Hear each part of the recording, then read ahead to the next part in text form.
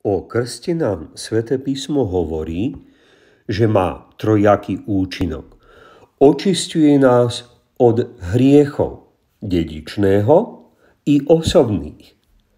Naplňa nás Božím životom, vytvára nezničiteľné spojenie s Bohom, ktoré voláme milosť posvecujúca.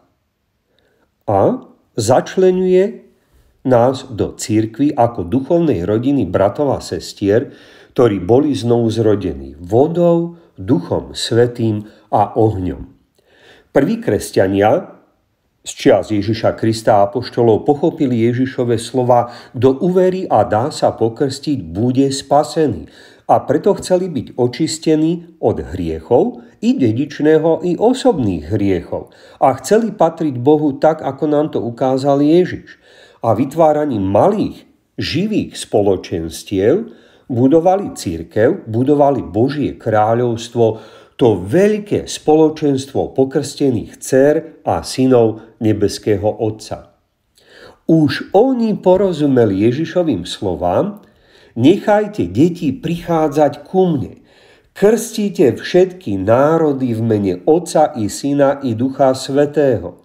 Do národov predsa nepatria len dospelí, ktorí vedia hovoriť za seba, vedia poprosiť o krst, vedia oľutovať, vedia povedať zriekam, verím, chcem, ale že do národov patria aj deti a že toto zriekam, verím, chcem, môžu povedať v ich mene. Aj deťom patrí očistenie duše. Boží život milosti posvedzujúcej a pričlenenie do spoločenstva Kristovej církvy. Oni, rodičia, dávajú záruku a prísľub, že urobia všetko, aby vieru odovzdali ďalej. Ďakujme rodičom i všetkým tým, ktorí nám pomohli Boha poznať, milovať ho a nasledovať.